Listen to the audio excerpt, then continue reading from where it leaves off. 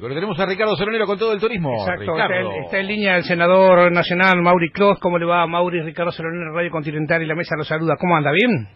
Bien, saludo a todos ustedes y a la audiencia Bien. continental. Gracias. Antes de entrar el tema de mm, la ley, de modificación de la ley 5.599, usted seguramente estaba escuchando, senador, el tema de la aparición del submarino Ara San Juan. ¿Cuál es su opinión? Bueno, yo quisiera eh, resaltar en principio el, tiempo, el sufrimiento de, de, sus familiares, de las personas que transformadas en héroes hoy están al fondo del mar, eso es lo, lo, lo, lo crudo, lo, lo, real, lo que duele y lo que se sabe. Uh -huh. Después todo el resto empiezan a hacer las conjeturas de todo tipo, de todo tipo de conjeturas que me parece que lo que debemos ser es sumamente serios. Se ha visto que haciendo cosas profesionales se llegan a resultados. Eh, puede haber cosas que llaman la atención, justamente en los últimos días aparece eh, este submarino bajo el océano, justo en una empresa que cobraba resultados, pero se hizo profesional la búsqueda, se buscó un esquema profesional y ese esquema profesional dio sus resultados.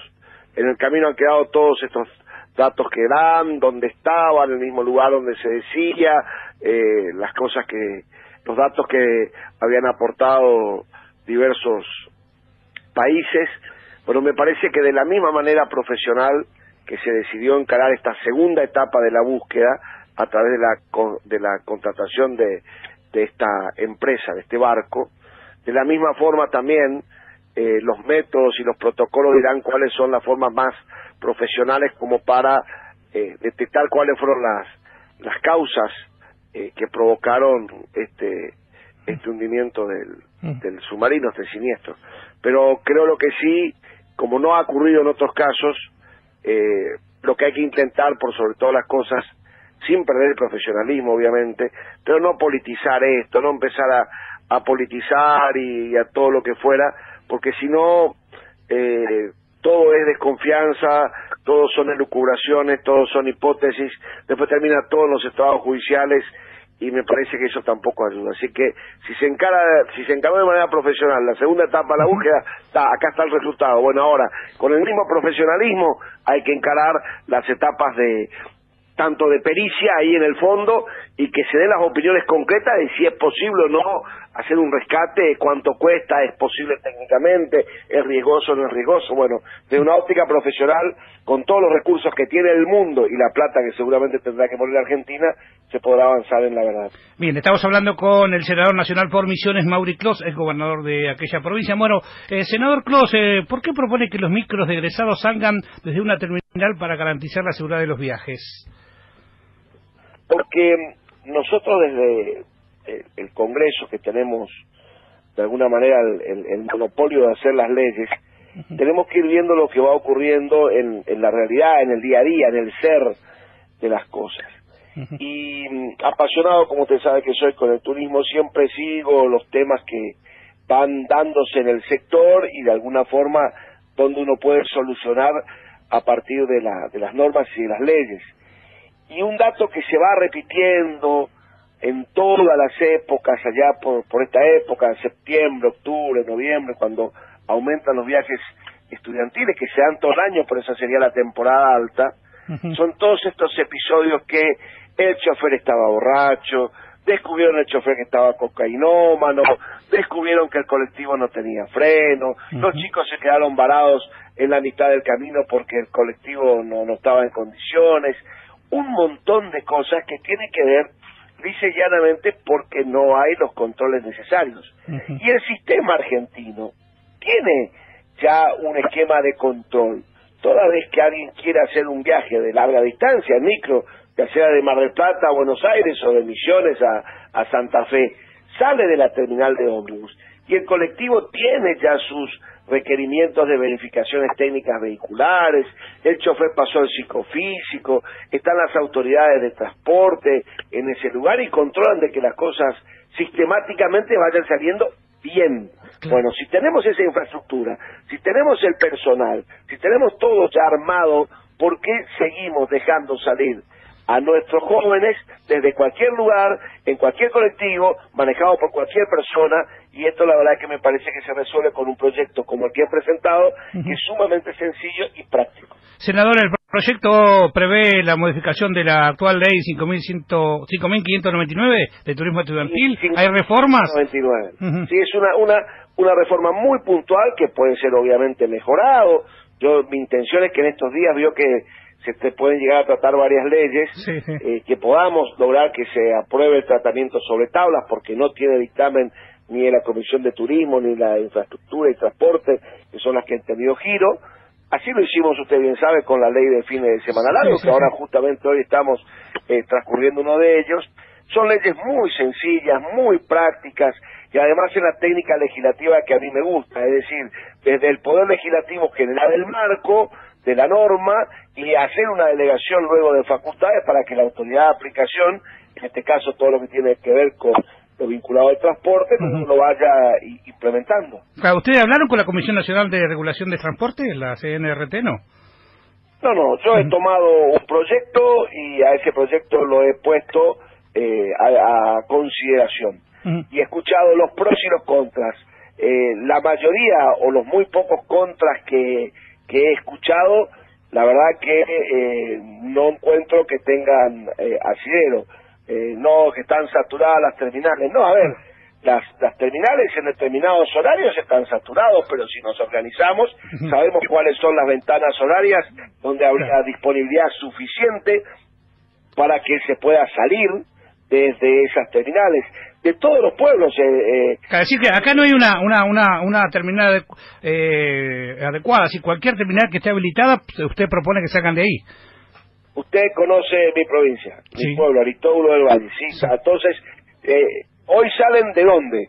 De la escuela. Llega el colectivo a la escuela, hace tiempo hice yo lo mismo y fue pasando los años y sigue igual.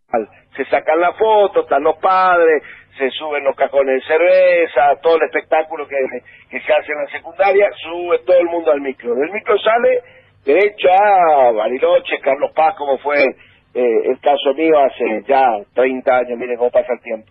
Bueno, yo digo que eso, en vez de ocurrir desde la terminal, eh, desde la escuela o desde cualquier lugar, que vaya a la terminal de ómnibus del pueblo, que salga desde ahí, que presente la documentación, que alguien controle de que está habilitado el, vehículo, que tiene la revisación técnica vehicular, que está en condiciones, que el chofer está habilitado, que tiene el psicofísico aprobado, todas las cosas que hoy hacen que, que alguien pueda de alguna manera transitar sabiendo que técnicamente tanto la unidad, es decir, el colectivo, como el chofer o los choferes están habilitados. No que te aparezca un tipo con una graduación alcohólica enorme habiendo consumido cocaína. Me parece que esto es eh, de, puro sentido común y tenemos la infraestructura en cada uno de los pueblos. Si algún pueblo no lo tiene, es muy difícil que ocurra, pero tendrá que pasar por el pueblo de enfrente. Sí, sin ninguna duda. Y me alegro mucho que se traten leyes simples y no siempre se trate la ley de, leyes como la del presupuesto. Alguno puede decir, bueno, el Senado está haciendo lobby, pero me parece que no hay mejor lobby que la seguridad de los pasajeros, ¿no, eh, Mauri? A ver, ¿lobby para quién? Para nadie. Es decir, en todo caso, uno podría decir que los que se oponen están haciendo un lobby, pero en el caso mío no, estoy buscando un mecanismo más de control, no estoy dando ningún beneficio a, ningún sector ni ningún privilegio, estoy dando sí una norma que hace a la seguridad y a la integridad de los, de los jóvenes que viajan. Esto luego podrá ser extendido, obviamente, a distintos tipos de viajes. Como usted bien ha dicho, encontramos, porque es donde más se da, en la ley de turismo estudiantil, 1599, una ventana. Ahora esto se podrá atender para viajes de jubilados, de, lo que fuera. Esa primera ventana para mí es un paso importante. Sin ninguna duda. Eh, la última, senador Clos, eh, ¿cómo ve el desarrollo del turismo en la República Argentina? Esta gran devaluación de la moneda en nuestro país, una gran oportunidad para que los argentinos viajemos en el país, pero también hay que estar atentos porque si bien hay una gran devaluación, Brasil eh, está, devaluando y está seduciendo al mercado argentino a ver, es, largo de, responder. Eh, todo lo vinculado al turismo internacional yo lo veo bien, eh, lo veo bien caminando Puerto Madero, días pasados estuve en Mendoza y hasta hoy por, por Puerto Iguazú. Eh, hay un turismo internacional que está creciendo y va a seguir creciendo porque usted sabe que uno no planifica un viaje al exterior y tan lejos como es Argentina, porque Argentina es lejos, es lejos de Europa, es lejos de Norteamérica, incluso es lejos del norte de Sudamérica o de México. Así que estos, eh, cuando uno ve lo que es la, la demanda potencial de turismo internacional, viene bien. Ahora, en contrapartida, el turismo no es solamente turismo internacional, y el turismo internacional, cuando viene a la República Argentina tan linda y tan grande, elige entrar por Buenos Aires y cinco o cuatro destinos más, no mucho más que esos destinos de turismo internacional. Entonces pasamos a analizar el turismo nacional. Y el turismo nacional tiene, por un lado, una ventaja, que es ante esta situación de tipo de cambio, que mucha gente no puede ir al exterior y se va a quedar en Argentina, sería el dato bueno, pero el dato complicado el dato complicado es que está habiendo una fuerte caída del consumo, del consumo interno, del consumo nacional, la pérdida de poder adquisitivo del salario muy muy fuerte, así que eso va a de alguna manera hacer que los destinos que estaban acostumbrados a recibir mucho turismo gasolero quizás reciban menos o quizás reciban un turismo aún más gasolero, de manera que esperemos a ver cómo pasa la, la temporada esta de verano, que es la temporada de turismo interno por excelencia, esperemos y ojalá que vaya bien y esperemos con sana expectativa de que el turismo internacional eh, no solamente llegue a los lugares tradicionales, sino que se extienda a otros lugares del país. Sí, senador, muchas gracias. Y por otro lado, me veo loco, ¿no? Ustedes, la caída del consumo, la caída de la industria, por otro lado, el gobierno pretende subir la franquicia de 300 a 500 dólares cuando uno entra al país, ¿no? Pero bueno, ese será para otro tema. 24 Boca o River. Qué pregunta, ¿no? ya, sé, ya sé la suya. Eh, esperemos, esperemos estar el 22 en Dubái los boquenses. Eso sería lo, lo ideal. Ahí si ganamos, perdemos, es otra cosa, pero esperemos estar en, en, en Dubái jugando la final del mundo. Ojalá. Un fuerte abrazo, Mauri.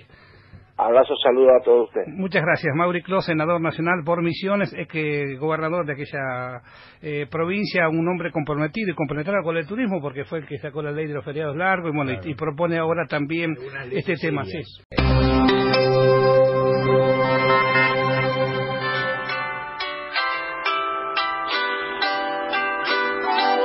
Hasta la medianoche, Domingo Sport, con Leo Uranga.